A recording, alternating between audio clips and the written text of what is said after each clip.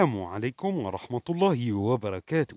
أهلا وسهلا بكم أعزائي في هذه الحلقة الجديدة والتي بإذن الله سبحانه وتعالى سوف نوضح تفسير رؤية الخلخال في المنام. بداية من الممكن من يرى نفسه لابس خلخالا آه، من الممكن أن يدل ذلك دلالة كبيرة جدا على أنه من الممكن أن يصيبه مرضا أو حزنا أو خللا كبيرا في حياته الدينية وتقربه اتجاه الله سبحانه وتعالى. وأيضا من الممكن أن يدل الخلخال ولبس الخلخال للرجل على الإصابة بالمرض الشديد.